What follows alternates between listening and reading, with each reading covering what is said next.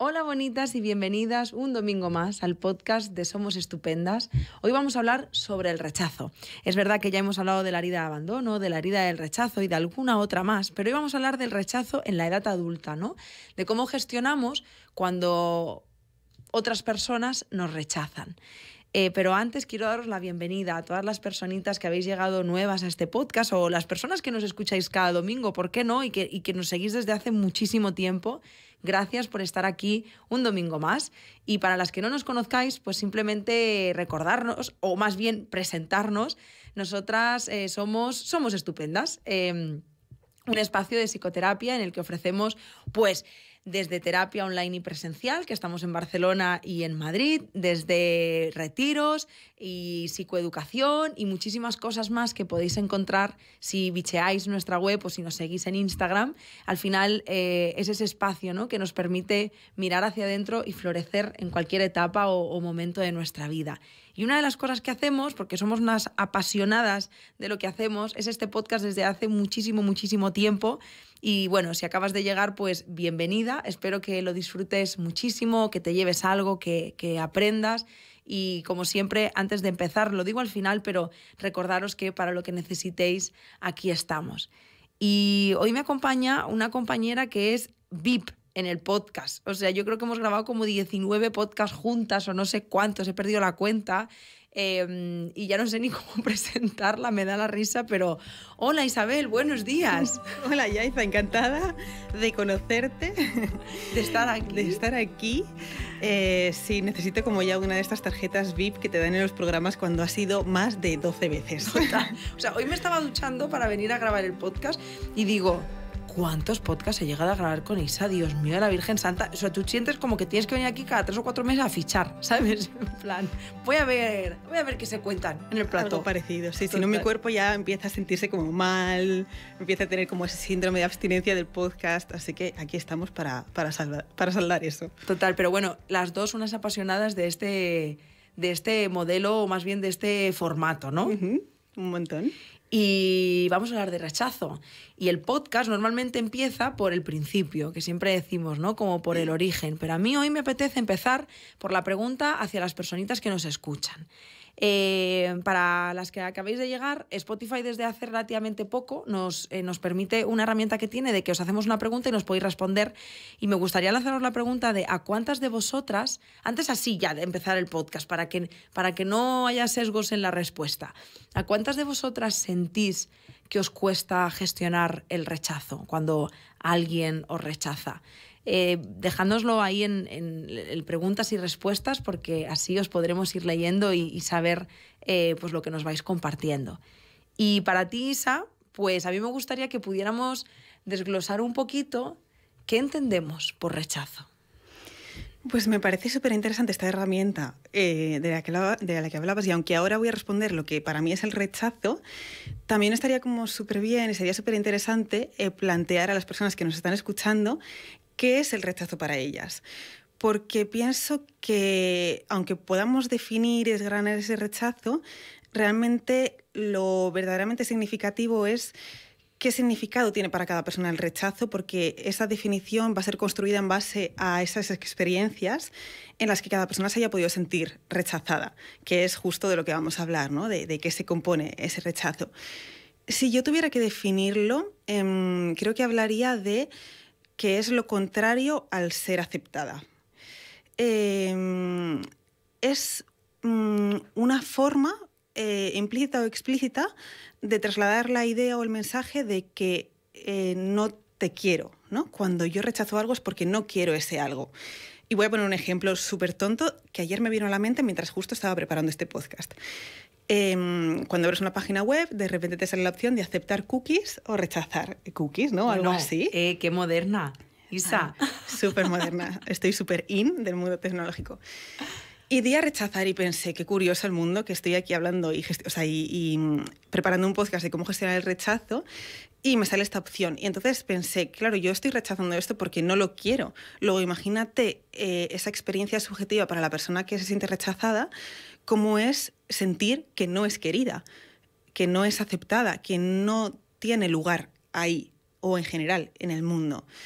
Y, esto acaba siendo algo tremendamente doloroso, porque ya no solo existe, existen para mí dos dolores en el rechazo, ¿no? Y ya no existe ese dolor único, por decirlo de alguna forma, de, de ese ser rechazada, sino qué significa para mí eso, de ahí la pregunta que hacíamos, y también la idea que acaba calando en mí de no soy merecedora de ese eh, de esa aceptación, de ese cariño, de, de ese, sí, al final de esa aceptación.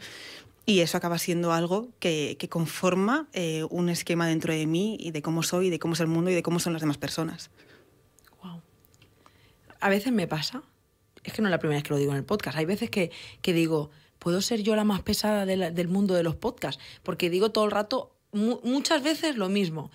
Pero de verdad Isa, que hay temas que cuando yo los estoy preparando, cuando yo pienso en ellos, sé que es importante que hablemos de ello porque, porque lo he vivido, porque le ha pasado a personas de mi entorno, pero a veces tiendo a subestimar algunos temas. Y ya solo con lo que has explicado ya me está pareciendo de una profundidad que cuando yo estaba preparando este podcast pensaba que tampoco para tanto, ¿no? Y, ya, eh, solo esto ya me está pareciendo como wow y además me está conectando con una cosa que luego te compartiré. Mm, que, me ha venido, que tiene que ver con la sexualidad y los vínculos. Ahora luego te lo comparto. Pero si te parece, vamos a ver un poquito el origen, ¿no? Y, mm, entendiendo como origen por qué nos cuesta tanto eh, gestionar el rechazo. Vale, mm, tenemos como siempre que partir de la base, de hecho ya en muchos podcasts, al menos de los que yo he grabado, hemos partido de la base de que eh, una de nuestras necesidades más humanas, más básicas, y, más importantes por encima de todo, no solo para, nuestra, para nuestro bienestar, sino también para nuestra supervivencia, es ser aceptadas, es ser queridas, es ser valoradas y, sentir que formamos parte de algo, sentirnos pertenecientes a ese algo, a ese grupo eh, o a ese espacio en el que estemos. Em, cuando eso se ve amenazado de la forma que sea, de la forma de nuevo más explícita o implícita, em, acaba eh, por fracturar, eh, por, generar una, por generar una brecha eh, enorme en, nuestro ser. Porque al final em, yo la identidad que construyo también es en base a esa experiencia. También porque yo me construyo en el contexto del otro. Entonces yo me voy a mirar según yo haya sido mirada. Y por eso nos cuesta tanto gestionar ese rechazo, porque em, incluso nos acabamos culpando de que haya existido. Entonces yo me, culpabilizo y ahora veremos, pero encuentro diferentes formas para que eso acabe repitiéndose y perpetuándose. Y, caemos como en una trampa en la que gestionar ese rechazo em, acaba siendo em, el mismo problema que me acaba llevando a ser constantemente rechazada. Y luego le pasa esto a la cabeza que dice, ¿lo ves? ¿Verdad? Totalmente, sí. Sí, pero porque si yo como humana en las diferentes experiencias que haya tenido, especialmente cuando son experiencias más primarias, cuando hablamos, por ejemplo, de la infancia, cuando hablamos de vínculos eh, necesarios, como puede ser pues, esas figuras de cuidado o figuras importantes como puede ser una pareja o amistades. Si yo en, esas experiencias repetidas a lo largo del tiempo, en entornos además en, los que yo soy muy vulnerable, porque yo cuando cuanto más intimidad hay, más vulnerable soy, em, me acabo sintiendo rechazada acabo introyectando la idea de que merezco eso, de nuevo como decíamos antes, y de pronto em, la opción más segura para mí acaba siendo el sentir que yo es lo que merezco. Em, a, ver si, a ver si lo explico bien porque es un concepto un poco complejo. Em, hay ocasiones en las que me ocurre algo muy desagradable, muy difícil de vivir, algo que es completamente inseguro, ¿no? Eh, en términos como más de apego, eh, experimento algo que no me genera nada de seguridad, que no me genera nada de calma, sino que al contrario me genera ansiedad, me genera malestar, algo incluso que, que es negligente conmigo, que no tenía que haber vivido. Pero si yo, conforme pasan los años, vivo experiencias así de inseguras, al final es la seguridad que yo tengo, porque es a lo que me he acostumbrado Y lo que he vivido, a lo que me he acostumbrado o a lo que mi cuerpo se ha habituado es a recibir todo aquello. Entonces, por inseguro que parezca en un primer momento, yo no he conocido otra realidad. No he, no he conocido la realidad de saberme merecedora de tener esos espacios. No he conocido cómo se siente el sentirme incluida, el sentirme perteneciente, el sentirme querida. Luego, la opción más segura es eh, sentir que voy a ser rechazada y perpetuar que eso siga pasando. Isa, ¿de qué forma nos puede afectar eh, el ser rechazadas? O sea, a nivel emocional, a nivel relacional, a nivel cognitivo, a nivel corporal, o sea, el someterte a, rechaza, a rechazos, ¿de qué manera puede afectarnos? Pues para mí eh, es que afecta y cala en lo más hondo de, nuestro ser. Por ejemplo, cuando hablamos de un rechazo que tiene más que ver con la herida de rechazo, por ejemplo, ¿no? con esos momentos eh, en los que somos más niñas o más pequeñas, eh, con menos recursos, más vulnerables, em, ahí estamos sintiendo rechazo em, en un momento eso muy vulnerable en el que todos nuestros esquemas eh, mentales, cognitivos, cerebrales se están, se están construyendo. Em, hay algo que se llama el, el, MOI, que es el modelo operativo interno, que esto, para decirlo de una forma súper clara y coloquial, sería como un andamiaje, como una serie de andamios que existen en mi cerebro eh, que tienen que ver con las creencias, ¿no? Con qué creencias tengo acerca de cómo soy yo, de cómo soy, de quién soy, de cómo es el resto del mundo, de cómo son las otras personas, de cómo merezco que me traten. Es como, como una definición que, que mi cerebro va creando acerca de qué es todo esto que yo vivo y de, y de quién soy yo. Pues estas experiencias de rechazo eh, impactan enormemente en ese modelo operativo interno, es decir, en todas aquellas creencias que yo tengo acerca de, de, quién soy y todo aquello que se está construyendo en ese modelo operativo interno también acaba moldeando nuestra identidad, esa visión negativa que yo acabo teniendo de mí misma. Y, eso acaba también por perpetuarse, por extrapolarse a cómo yo me relaciono con otras personas. No, no sé, no he aprendido quizá a tener esos vínculos seguros. Eh, siento que merezco estar en vínculos inseguros, de manera que todo esto se va, se va eh, perpetuando, se va retraumatizando.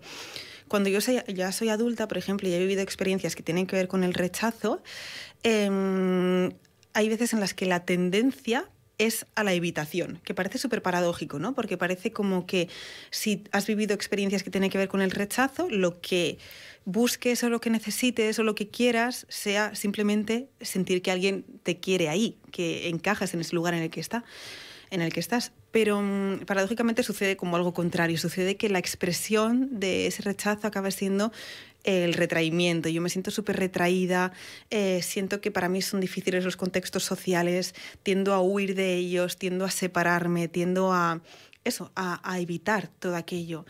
Y, esto además no solo nos, mm, nos hace como muy difícil eh, que pueda repararse esa herida, sino que también nos revictimiza, porque ya no solo es esa otra persona quien me está rechazando, sino que yo misma me estoy rechazando a mí por todo lo que he construido. Total. Pues aquí, Isa, me apetece compartir contigo lo que te decía antes, ¿no? Que yo no sé si tiene mucho que ver, pero me ha nacido como compartírtelo. Porque a mí me pasa, y es que es curioso, porque no a mí, le pasa, eh, pasa en mi relación de pareja. Y el otro día, eh, hablando con otra personita, me compartió que también le, le pasaba y, pensé, ahí va, siempre había pensado que era algo como, que, algo como muy íntimo que nos pasaba a nosotros y de repente me doy cuenta de que le pasa a muchas más personas y qué relación tiene esto o cómo cogemos esto en este podcast sobre eh, la gestión del rechazo y cómo nos afecta el rechazo. A mí, por mi historia de vida, la sexualidad es un tema que me cuesta, bueno, ahora estoy súper curada, eh, soy una fucker de manual, o sea, ahora mismo estoy como en plan pletórica para cómo soy yo. Pero es verdad que a lo largo de mi vida es algo que me ha costado mucho, muchísimo. Entonces, ¿qué pasa? Que yo rechazaba constantemente a mi pareja en, en, cuanto al ámbito sexual se refiere. Pero él, a la misma vez, cosa que hemos ido como descubriendo, le conecta también con parte de su historia de vida. No es solo que yo te diga no quiero tener relaciones contigo o no puedo tener relaciones contigo. Con esto, pequeño inciso, no hablo de que no rechacemos eh, a, una persona, o sea, no hay que tener relaciones mm, por no herir a nadie. Quiero decir, partiendo de esta base, he hablado de un vínculo sano, cuidado, mm, pero donde mis límites eran estos de que yo no podía. Y, él siempre me ha trasladado...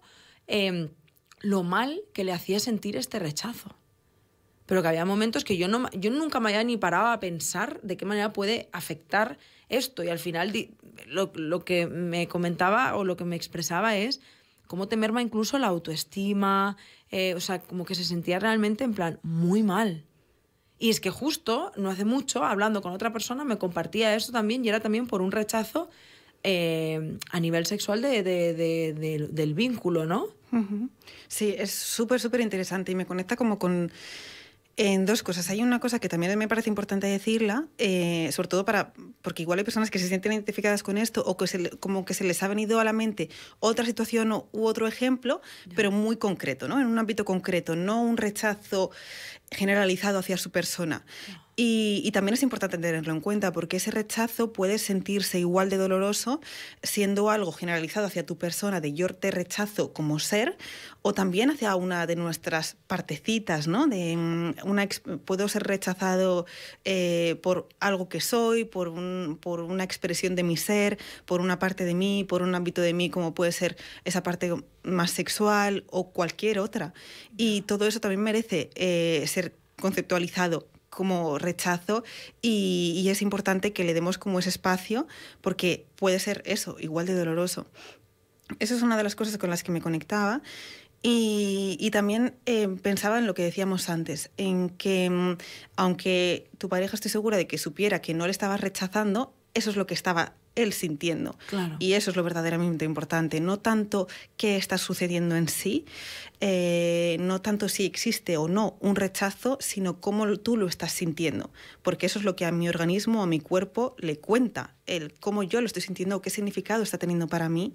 Además, también teniendo en cuenta que los mecanismos eh, psicológicos que, que nuestro organismo despliega en estas situaciones, sobre todo en un vínculo como tan íntimo, es responsabilizarme, hacerme cargo de esa sensación que yo estoy teniendo de rechazo. Porque lo contrario también sería eh, que ese vínculo quizá pudiera peligrar. Entonces necesito eh, hacerme cargo de esto que está sucediendo y de ahí también después eh, esa sensación de que mi autoestima se ha ido mermando porque me he responsabilizado de ese rechazo. Claro. ¿Y qué podemos hacer para gestionar este rechazo, Isa? Porque yo entiendo que habrá muchas personas que nos estén escuchando y digan, me siento identificada, desde la parte más general o en algún área o, en algo muy concreto de, mi vida. ¿Qué podemos hacer? Es como, hasta aquí, ok, lo, asumo, he visto la sombra, ¿y ahora qué hago con esto? ya. Em, para mí siempre, eh, yo creo que puedo poner la mano en el fuego de que diría que siempre eh, la base de todo es entender. Eh, porque si yo no entiendo de dónde viene todo esto, si yo no entiendo esas raíces del rechazo, si yo no comprendo porque hay situaciones que en un primer momento parecen nimias, pero me generan tanto malestar, me generan unas sensaciones tan desagradables y tan arrolladoras, me voy a seguir culpando por aquello que estoy sintiendo. Entonces, para mí, todo es eh, todo este contexto que hemos ido dando al rechazo es súper importante. Em, para eso, para poder entender de dónde viene esa herida de rechazo, de dónde vienen esas sensaciones tan, tan desagradables y también poder conocer esa herida, tenga uno los, tenga los años que tenga, ¿no? por decirlo de alguna forma. De hecho, me parece muy importante que también nos podamos hacer la pregunta de cuándo fue la primera vez que sentí ese rechazo. Para mí sería como un... Em, en, entrar en contacto con, ese dolor, que la mayor parte de las ocasiones lo más recomendable es pues, que, tengas una ayuda eh, eh, psicológica en este sentido, ¿no? porque es eh, un dolor muy hondo y muy, muy, profundo. Insisto, independientemente de cuándo y de cuántas veces se haya producido esta sensación subjetiva, independientemente de si ha sido o no real, va a ser doloroso. Pero para que esto pueda repararse, Em, necesitamos elaborar internamente eh, ese dolor. Poder entrar en contacto con ese dolor implica que yo me doy cuenta de cuándo eh, esto empezó a sucederme, ¿no? Eh, cuándo me sentí así por primera vez, qué estaba pasando en aquel momento como si pudiéramos hacer un mapa de esa herida ¿no? y, preguntarnos cuántos años tiene esta herida, em, cómo es esa herida, cuándo se expresa, cuándo se despierta, qué situaciones suelen dispararla, ¿no? suelen evocar esas sensaciones. Como si la personificáramos u objetivizáramos, ¿no? Como si hiciéramos que esa, que esa herida fuera una persona y, pudiéramos conocerla y entrar en la, en la profundidad ¿no? de, de, ese ser. Y también desde ahí pues, poder construir en, ok, ¿qué hago ahora ¿no? para poder em, cambiar esas creencias que yo tengo acerca de mí y desarrollar unas creencias que, tengan, que sean más coherentes con lo que yo soy?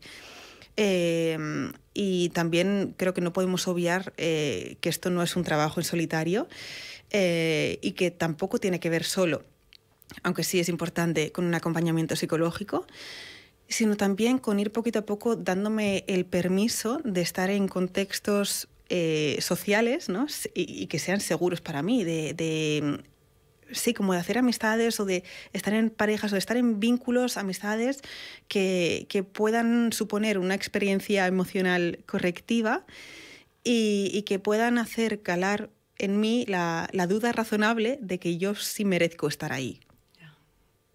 Me encanta lo de correctiva porque cuando me lo dijiste fue cuando Jordi cogió un avión después de, de mucho miedo el avión. Ah, sí. ¿Te acuerdas? Sí. Y me dijiste, estás teniendo una experiencia correctiva. Y dije, hija, para todo tienes una palabra tú. Sí, sí, esto para las personas que nos escuchan a mí es un concepto que me, que me gusta un montón. Una experiencia emocional correctiva es aquella experiencia que yo vivo en el presente que eh, ayuda a reparar lo que en un momento no fue tan bonito o tan sano. Tal cual. Wow, hay trabajo aquí. Hay trabajo. Yo creo que ah, no está de más que lo recordemos, Isa, porque hay personas que llegan a este podcast. Eh, yo también soy consumidora de podcast, en algún momento estuve muy, muy rota y escuchaba otros podcasts y a veces en algún momento pensé que era fácil, ¿no? Es como cuando escuchas un podcast o lees un blog o escuchas a alguien en internet diciendo cualquier cosa y piensas, ah, ¿qué era esto, ¿no? Con entender, con entender y no sé qué y buscar eh, la experiencia correctiva, venga, ya lo tengo. No, no. Es un proceso muy largo que muchas veces conlleva no solo descubrir esta parte del rechazo, sino otras parcelitas que se van conectando con, con esto y que muchas veces requiere de mucho tiempo y de, y de ayuda profesional. Porque a veces es muy frustrante también, ¿no? Que alguien pueda escuchar este podcast y decir, ah, ya está, y luego no está. Y es que es complejo, es mucho más complejo de lo que pueda parecer. Sí, sí lo es. Y también otra de mis frases más mantras dentro del mundo de la terapia es que mm, las heridas se, se, crean a menudo en los vínculos, pero también se sanan a través de ellos. Entonces, creo que no tendría nada de sentido que también te cargaras con la responsabilidad de, de sanar algo que realmente no has roto tú. Y, y, hay otras personas que también te pueden ayudar como a poner esa tirita, ¿no? Y justo hablando de la herida de rechazo, pues nada más eh, lejos de la realidad y, y de lo importante. Tal cual. Oye, qué bonito que hayas acabado el podcast con una frase del retiro. Ah, yo me sí, es verdad. No recordaba, pero es que la uso muchísimo. La usas muchísimo, pero yo me acuerdo del momento del retiro en el que, en el que soltaste esa frase y dije, bueno, esa y la de las sombras. Ay, sí. Que, eh, ¿Cómo era? Porque, a ver, a ver que no la lié, pero era, la sombra solo es la luz que no es consciente de sí misma. Sí, así era. La sombra es la luz que todavía no es consciente de sí misma. Pues yo me llevé eso del retiro. Qué guay que lo hayas compartido Qué aquí. ilusión. Me encantan esas dos frases. Para más frases, ven al retiro BAM. Oye, pues sí. ¿Por qué no? Un poco de promo no está mal. Lo merece. Total. Joisa, gracias por todo lo que has compartido. Gracias a ti, una vez más. De verdad. Nada, te espero dentro de tres, tres mesecitos Vale. o cuatro para que Vale. hagas el fichaje del podcast. Justo. No me lo perderé. Eh, bueno, a vosotras, como siempre, un domingo más quiero daros las gracias por estar aquí. Espero de corazón que este podcast os haya servido de alguna manera, ¿no? que os haya podido llegar como un rayito de luz. Y si se mueven cosas o si se despiertan cosas dentro de ti, pues simplemente decirte que, bueno, lo primero que te mando un abracito. Yo creo que te, te mandamos un abracito porque es complejo y es muy difícil verte. ¿no? Cuando empiezas a ver las cosas que te duelen, asusta muchísimo y requiere también de mucha valentía. Así que te mando un abrazo inmenso en este momento si lo necesitas Y mm, nada, simplemente recordaros que podéis seguirnos en Spotify porque es una forma muy bonita de apoyar lo que hacemos y también de que Spotify os avise de cuando hemos subido un nuevo podcast. Eh, leeremos las respuestas que nos habéis dado, tanto de mi pregunta como de la de Isa, al principio del podcast, porque nos siempre eh, nos encanta y agradecemos mucho leeros. Recordad que estamos aquí para lo que necesitéis. Podéis encontrarnos en la web, como somos estupendas, en Instagram, en TikTok, en YouTube, no sé, en todos lados. Somos, vamos, somos 360. Eh, en todos los sitios tú nos buscas y nos encuentras. Y nos puedes escribir y te respondemos. O al menos hacemos muchos esfuerzos para que siempre pase. De hecho, es curioso porque mientras os estoy grabando aquí, os estoy mirando, es que tengo una cámara delante para quien me estéis escuchando. Detrás de la cámara que me está grabando está una de las personitas que están detrás de todos los emails que mandáis, que es nuestra compañera Irina, aunque también está Marina, María y Mirella, pero me, hace, me parece muy bonito como estar hablando de esto y, ver al equipo humano que está detrás, eh, detrás de esa cámara. Eh, bueno, lo dicho, que estamos aquí para lo que necesitéis, eh, para iniciar vuestros procesos, para acompañaros, para leeros, para escucharos, para sosteneros y para lo que necesitéis. Os mando un abrazo muy, muy, muy, muy fuerte. Nos vemos y nos escuchamos la semana que viene. Chao.